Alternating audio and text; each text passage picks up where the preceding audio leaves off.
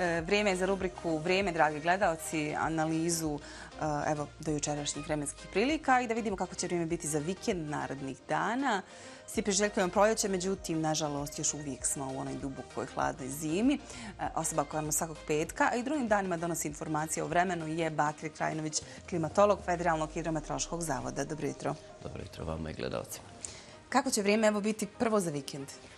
Što se tiče naredna dva ili tri dana, očekujemo promjenljive vremenske prilike, padavine u našoj zemlji, dosta oblaka, tako da i tokom jutra će biti hladno vrijeme. Nastavlja se ovaj period tmurnog zimskog vremena, ali evo, dolazi nam i padavine, pa možemo očekivati i pokoju pahulju snijega i u nižim predjelima tokom jutra u subotu. A na planinama svakako snijeg će padati već od večeras, pa će i na na već napadali snijeg koji je na vrhu Bjelažnice oko 100 cm biti još novog snijega. Što se tiče zimske sezone, vremenske prilike idu u prilog ostvarenju svih ciljeva, a u nižim predjelima ipak taj snježni pokrivač neće biti značajan. Biće snijega, ali ono što će prouzrokovati jest poledica uz dosta niske temperature tokom jutra i padavine koje očekujemo.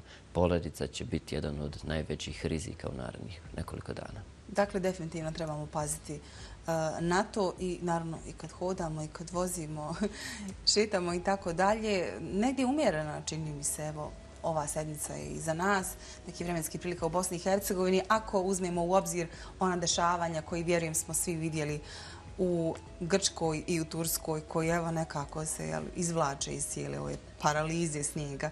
Tako je, mi smo odlično prošli kada je u pitanju mjesec januar u odnosu na stanje koje je vlada u Grčkoj i Turskoj, gdje je snježni pokrivač baš blokirao cijelu državu. Ono što je se kod nas desilo je da nas je spasio anticiklon koji nam je doneo one minuse, ako se sjećate, minus između minus 15 i minus 10 stepeni Celzijusa, to nas je spasilo od snježnih padavina koji su osjetili svi oni koji su bili u Grčkoj, a dosta prijatelja je putovalo i u Istanbul gdje su ostali na putu, zakovani u snijeg. Tako da ono što je se desilo tamo mi smo izbjegli, ali smo imali te niske temperature. Mjesec januar nije pokazao ono pravo svoje lice ni u pogledu niskih temperatura, ali ni snježnih padavina. Vrijednosti koje smo imali tokom ovog mjeseca nisu bile ni blizu rekordnih vrijednosti. 1. januara imali smo rekord u Mostaru, apsolutni maksimalni rekord, 20 stepeni u Mostaru. Zatim dva hladna talasa koja su nam donijeli temperature, ovaj prvi nešto blaži od minus 13 do minus 10 stepeni u Bosni. Ovaj drugi malo hladniji, od minus 15 do minus 10. Na visoravnim planinama zabilježeno je čak i minus 20 stepeni Celzijusa.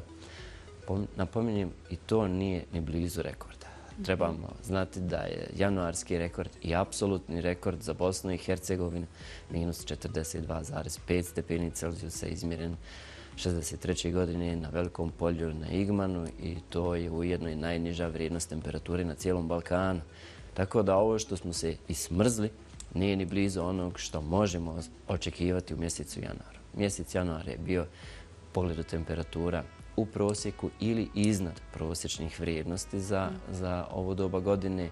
U pogledu padavine, odnosno snježnog pokrivača, imali smo nešto manje u odnosu na uobičajene vrijednosti kada je mjesec januar u pitanju, a ni blizu onih maksimuma, ni blizu onih snježnih pokrivača koji smo imali u prošlosti od između 50 i 100 cm i u gradovima naše zemlje. Tako da januar za nas je jedan prosječno topal pa iznad topal pa, u pogledu padavina ispod prosjeka, baš onako kako smo najavili na početku mjeseca kada je u pitanju sezonska prognoza. Da, jedan umjeren prilično januar, ali ulazimo polako u februar. E, tokom jednog e, tvog gostovanja u našem jutarnjem programu rekao si kako je to mjesec u kojem uvijek padne najviše snijega.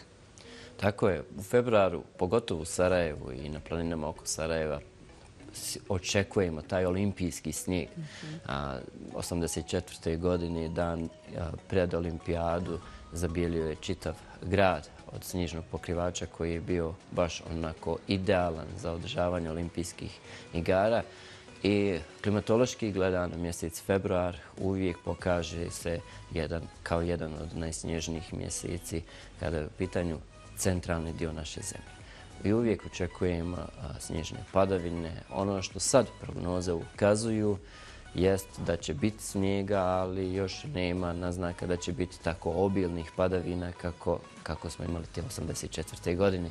Ipak sačekajmo te kratkoročne vremenske prognoze da možemo pričati o visini snježnog pokrivača, o količinama padavina, ali sad možemo najaviti da će i u mjesecu februaru biti svakako snježnih padavina i u nižim predjelima, tako da ovo što imamo u januaru nije zadnji krik zime, ipak sačekajmo mjesec februar kada je u pitanju i snježni pokrivač, ali i niske temperature. Bilo bi nekako najbolje kad bi bio recimo poput januara, ali eto naravno ne možemo mi to ni znati, ni prognozirati. E, kad govorimo o zimi uvijek, evo bar u nekoj Sarajevskoj kotlini, ali u ostalim BH gradovima, uvijek govorimo o tom problemu zagađenja zraka i kako to izbjeći, kako se toga riješiti.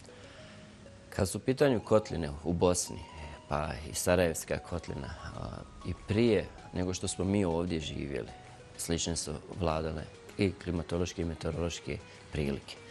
I prije nas na ovim prostorima su se dešavale temperaturne inverzije i zrak se zadržavao u kotlinama, ali nije bilo nikog da zagadi taj zrak. Sad smo mi tu i sve ono što mi proizvedemo i što pustimo u atmosferu ostaje u Sarajevskoj kotlini. I nažalost još nismo u mogućnosti da smanjimo zagađenje, a kamo li da očistimo Sarajevsku kotlinu, iako je bilo stvarno odličnih ideja kako da očistimo Sarajevsku kotlinu uz ventilatore, probijanje tunela i svakakvih ideja koje su onako bile popularne, ali svakako neostvarive. Dakle, ne može nam biti ništa pomoć, osim da se prelagodimo? Osim prirode. Početkom naredne sedmice očekujemo umjeren do jak vjetar južnog smjera. I to će očistiti Sarajevsku kotlu. Nakratko, ali će očistiti. Dakle, opet se uzdamo u prirodu i prirodnu pojavu da nam pomogne da očisti atmosferu kako je to priroda radila i prije nas. Dakle, imamo prirodne uslove kojima se mi moramo prilagoditi. Ako znamo da mi nismo u mogućnosti da očistimo Sarajevsku kotlinu od zagađenja, pokušajima smanjiti emisije štetnih gasova u atmosferu i svega onog što nas truje. Jutros je atmosfera bila jako prljava. Nema vjetra, stabilna atmosfera, visok zračni pritisak, bez zračnog strujanja i sve ono što mi ispustimo u atmosferu ostaje tu da mi i udišemo. Dakle, nije priroda u mogućnosti da absorbuje sve ono što mi zagadimo. Tako da i dalje ćemo se uzdati u prirodu i dalje ćemo čekati najave eh, vjetra da nas obraduje čišćenjem atmosfere kako smo to i do sad radili, a nadam se da ćemo u budućnosti ipak smoći snage da barem smanjimo to zagađenje kako se ne bi tušili u ovakvim prilikama kad vladaju stabilno, kad vladaju stabilno stanje i kad nema vjetra. Pa barem u tim situacijama da smanjimo zagađenje od e, ložišta, ali i od saobraćaja. E, Bakri, hvala ti puno što si bio gost sunčanog jutra, naravno kao i svakog petka i ostalim danima. E, moram reći, da li, evo moram te pitati još jedno pitanje, da li ove godine možemo očekivati možda više temperature evo, koje imamo nekako iz godine u godinu? Evo baš sad spomenuo to zagađenje atmosfere, znamo kako nam se to zapravo sve na kraju vraća. Nažalost, možemo očekivati i ekstremne vrijednosti temperatura zraka i tokom ove godine. Kao što smo imali i prošle godine, nije davno bio juni i juli mjesec u Sarajevu kad smo imali apsolutne rekorde po tri dana.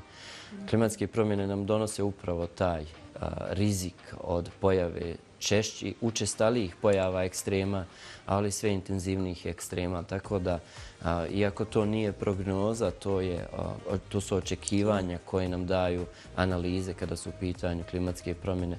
Tako da moramo biti spremni, moramo realno očekivati vrijednosti maksimalnih temperatura iznad onih rekordnih koje smo imali i koje smo registrovali u 130 godina od kad postoje mjerenje na našim prostorima. Tako da pripremimo se na takve uslove i kada su pitanje temperature i kada su pitanje padanje.